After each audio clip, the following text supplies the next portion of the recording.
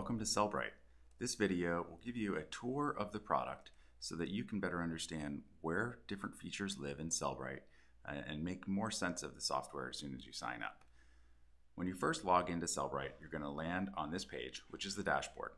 The dashboard is effectively that. It's going to show you some things like your total sales uh, over a given recent time period.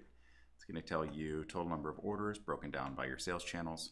You'll see some announcements from us uh, some links to some resources to help you get started, uh, and then some other data like recent activity that Sellbrite's performed on your behalf, your top five selling products, uh, and the total number of listings that you have across your channels. There's also this handy guide that shows you which percentage of your products are listed. So your goal should always be to try to get as close to 100 as possible. Next is the Products tab.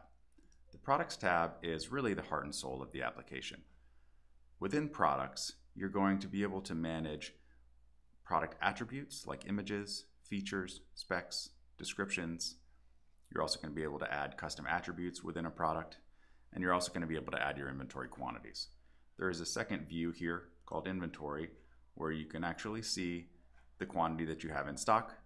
Uh, but between the products and the inventory tab, this is where you're going to manage all of the data for the items that you sell. The key relationship in Sellbrite is between products and listings. And the reason is because in Sellbrite, you start from the products tab in order to create new listings. So you would literally just check, check one of these checkboxes and you'd be able to click the create listings button to start the process of sending your products to another sales channel. I'm gonna uncheck that and we'll jump into the listings tab. So you can see here that I have multiple sales channels inside this Sellbrite account and all of these sales channels link back to my products tab.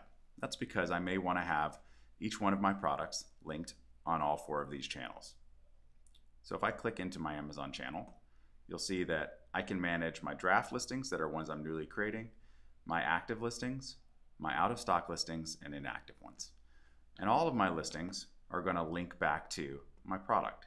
So this little linking emblem means that this particular listing on Amazon is linked to an item in Sellbrite so that Sellbrite can update inventory quantities so that Sellbrite knows when an order comes in, which product it's for, and so that you can send additional updates from your product to the listings. And you'll see that same relationship on all four of your sales channels.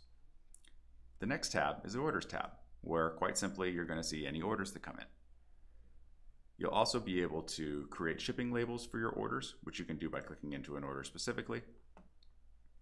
I could create a shipping label for it. I could mark it as shipped if I fulfilled it from another means and I can print things like a packing slip or a pick list or an invoice for my customers.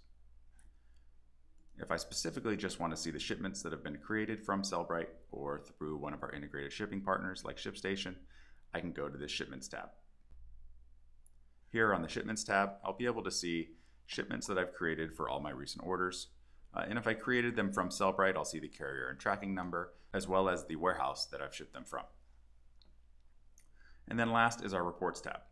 The Reports tab shows you uh, a couple of high-level reports that'll help you get a handle on what's selling where.